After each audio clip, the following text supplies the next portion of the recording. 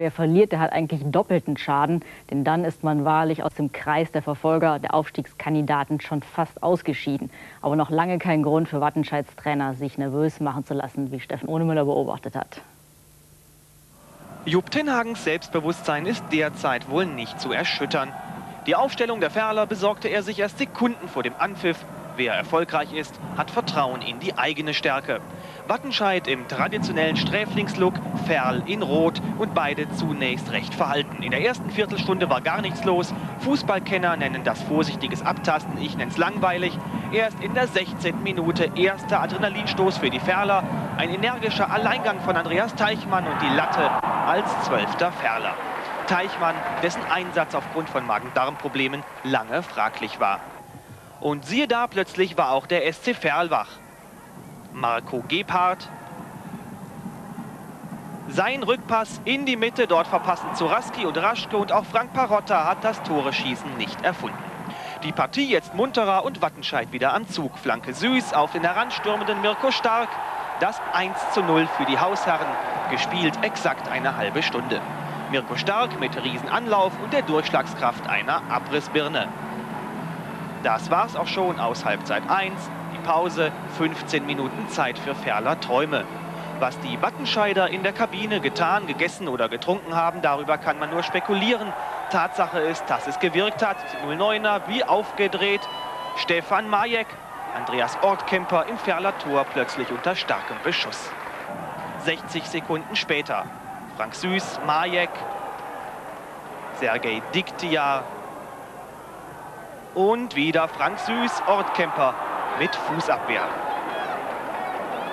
Der SC Verl nur noch ganz selten gefährlich in der Wattenscheider Hälfte. Wenn dann meist über den schnellen Markus Zuraski. Mehr hatte der noch Tabellenzweite nicht zu bieten. Auf der Gegenseite begann nun die Zeit des Sergio Aljevi. Zunächst Sergej Diktia, bedient Aljevi. Was für eine Gelegenheit, aber auch glänzend gehalten von Ortkemper. Wenn Sie jetzt denken, den musste er eigentlich reinmachen, dann warten Sie mal ab. 30 Sekunden später wieder Aljevi. Der Betrachter staunt und schweigt. Dem Ferler Libero Stefan Ritz schlug dieses Chaos in seiner Hintermannschaft wohl gehörig aufs Gemüt. Anders ist diese Attacke gegen Sergej Diktia nicht zu erklären. Mit beiden gestreckten Beinen springt er dem Wattenscheider Stürmer von hinten in die Hacken. Schiedsrichter Kurholt machte das einzig Richtige. Runter mit Ritz. Der Verlust des letzten Mannes machte das Abwehrchaos bei Ferl komplett. Und Wattenscheid nutzte das ab jetzt schamlos aus. Wieder Sergio Aljevi auf und davon.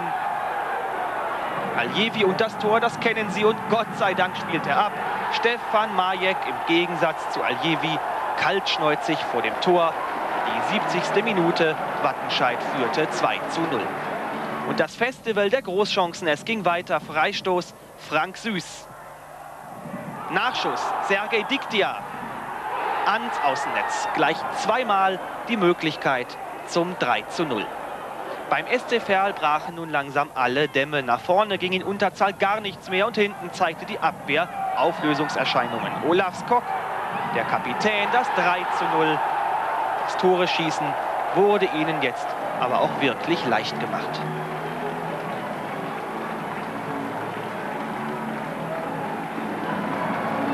Wattenscheid war nun nicht mehr zu bremsen. Die Tenhagen 11 plötzlich wie im Rausch. Zufriedenheit beim Trainer und beim Boss Klaus Steilmann. Zwei Minuten nach dem 3 zu 0. Werner Kempkens, der hat viel Platz, sieht den eingewechselten Mario Plechati, der im Doppelpass. Wieder Plechati, ein Angriff aus dem Fußballlehrbuch. Resultat 4 zu 0. Spätestens jetzt war klar, hoch würde Ferl diese Partie nicht mehr gewinnen. Im Gegenteil, die Gastgeber hatten immer noch nicht genug. Zehn Minuten vor Schluss. In der Mitte der überragende Frank Süß, erster Versuch. Werner Kempkens steht richtig. Doch der durfte sich feiern lassen. Das 5 zu 0, der Schlusspunkt unter eine von Wattenscheid hochklassig geführte zweite Halbzeit. In dieser Form darf man sich jetzt schon freuen auf das Gipfeltreffen in Oberhausen nächste Woche, während sich die Ferler Zweitligaträume schon heute erledigt haben dürften. Und noch eins bleibt festzuhalten, Jupp Tenhagens Selbstbewusstsein ist wohl nicht zu erschüttern. Vielleicht verzichtet er bald ganz auf die Aufstellung des Gegners.